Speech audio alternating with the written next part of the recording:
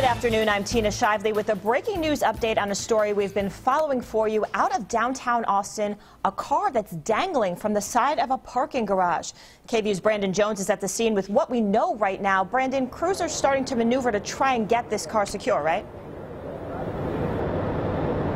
Yeah, they are, Tina. They're actually at the top of the ninth floor up here. You can see firefighters trying to get this car from uh, down on this Littlefield parking garage. What we do know is that this is a 24-year-old man. He told firefighters that he lost control of the car. We do know that he, he got out of here safely, but we still don't quite know what led up to this. Now, we want to show you some video right now of the driver actually being rescued from the car. So the latest right that we know right now is that there is still uh, gas leaking from this vehicle right now. They're trying to uh, bring in a tow truck. The firefighters are trying to get this car down.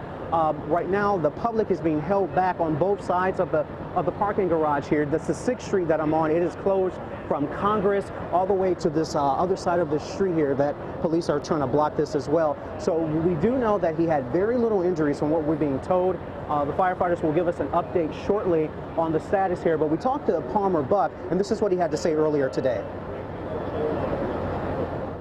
We were, we were very happy to find out that he was uh, out and, and, and, unhurt. It would have been very difficult to, to extricate him, uh, and certainly as he was climbing out, he was uh, in a very precarious position. The car's moving, it's only tied to one steel line wrapped around the wheel, um, but he was able to uh, nimbly get out of the car and, and work his way over to the side. So.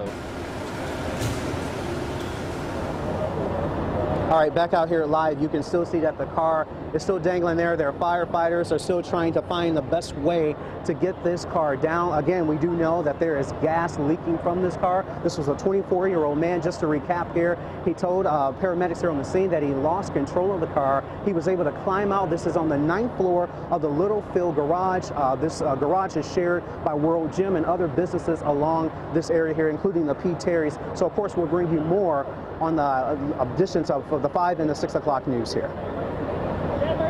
All right, Brandon, thank you so much.